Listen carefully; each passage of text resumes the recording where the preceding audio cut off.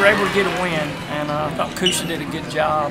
Uh, we struggled here lately, so uh, yeah, we're, we're, glad we won, but we got a tough opponent, Rome, and they're in our region, so uh, we've got to play a whole lot better. We've got a lot of things to work on, and, uh, we've only got a day, you know, to do it to prepare for Rome. So they're going to be a very, very tough opponent. But I thought Coosa uh, played hard and played well.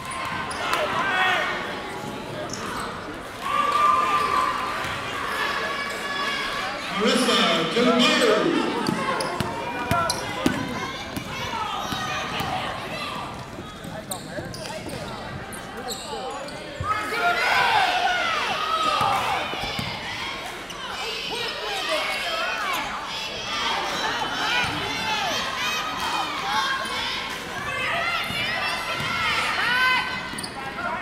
got to work on our passing, and uh, you know they were in a half-court trap, and we we made some silly turnovers and just simple fundamental passing. So uh, things like that will come in tomorrow and, and try to correct, and uh, and hopefully be ready uh, Wednesday at Berry.